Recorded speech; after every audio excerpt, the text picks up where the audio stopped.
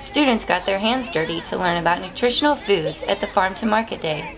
The innovative program, put on by Tulsa Public Schools and Sodexo Child Nutrition Services, gave students a greater understanding of Oklahoma agriculture and helped make the connection between the ground to the grocery store. I think it's really for them to explore the world of fruits and vegetables and to see that farmers grow all this great food. We've got great farmers here in Oklahoma.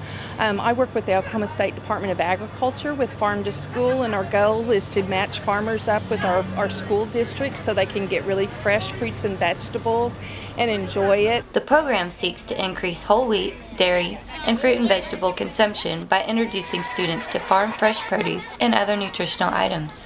Lessons included an Oklahoma grown asparagus grilling and tasting by the Oklahoma Department of Agriculture and a mobile dairy unit featuring a live dairy cow by Southwest Dairy Farmers. You think this machine hurts the cow? No. You think cows like being milked? Yes. Yes, because that takes all the weight that she's carrying in her udder with that milk. Students were taught how fruits and vegetables are grown and raised, where they are grown in Oklahoma, and the nutritional benefits of the foods. It's great to see the amount of excitement that they have around learning more about fruits and vegetables and about Oklahoma agriculture. It's not um, perceived sometimes, especially by kiddos, to be the most exciting thing in the world, but they're enjoying even learning about asparagus and how to plant plants and um, you know about where the fresh fruits and veggies that they eat on a regular basis come from.